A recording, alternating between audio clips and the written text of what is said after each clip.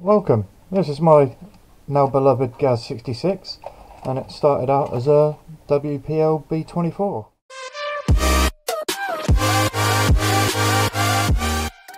It was the kit version that I put my own stuff in. I got this to play along with my son with his ready to run C14 Hilux and it's captured my heart. I've had it a month, maybe two months, and I've just fallen in love with it using it. So the videos sort of shifted. But the short and sweet of it is brilliant little kit. I run it on a two cell 500 and it just runs and runs and runs, let alone taking multiple batteries. Just need one. I'll put the time codes in here. Uh, there'll be a little bit of an unboxing, talk about what was in the kit and the time lapse of building it up. And you'll find a little bit of a adventure on the tail end of the video. I'll leave everything else for a second video going through its pros and its cons and little bits and bobs. Rather than making videos about it, all I can do is go and drive it time after time and I don't stop smiling when I am.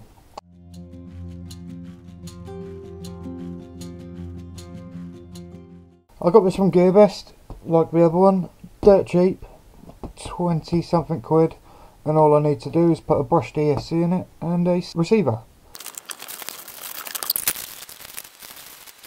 Okay, I'll see if I can get a image of the instructions for you.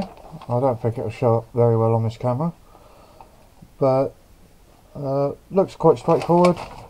Very, very impressed with the kit so far for what it is. Look at these C-channel frame rails. Anything wrong with this. I'm sure I could put a four-wheel drive system from anything else. Before I move on, this is a Gaz 66 replica, um, or look-alike. Huge bed on it. Well, there's my hand, and I have a big hand. The motor, the transfer case, looks like a 9 gram servo in there. Some goo, leaf springs, lighting system, JST, screws, servo horns. There's a lot of the cosmetic frame rail uh, bolt ones in here and snap-in trim to accent the cab, blue and white. Lovely. Wheels, spares. These tyres are a lot more squishy. They're different tyres than on the ready to runs, which is good. I'm going to be running it on my FlySky GT3C, uh, link in the top right. So I think what I'm going to do is get myself a copper, put a time-lapse camera on, put a movie on, and turn this into a roller for the most part. Uh, it looks nice and sort of straightforward. Well, let's see how it looks when it's um together. But I blame you, Aaron, RC Sparks, DJ Medic. This is your fault. Give that lovely King Kong spin tyres that you did. Had to get the truck.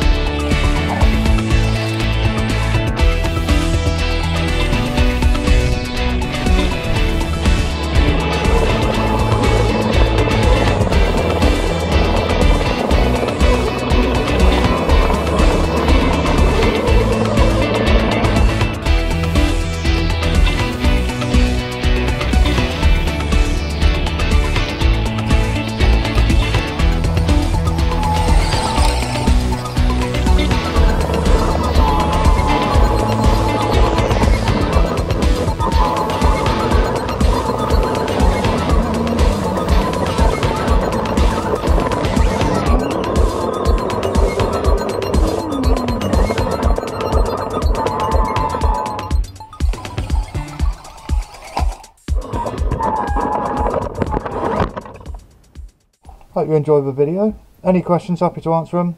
There'll probably be a playlist for this in the top right. So, thanks for watching. Take care.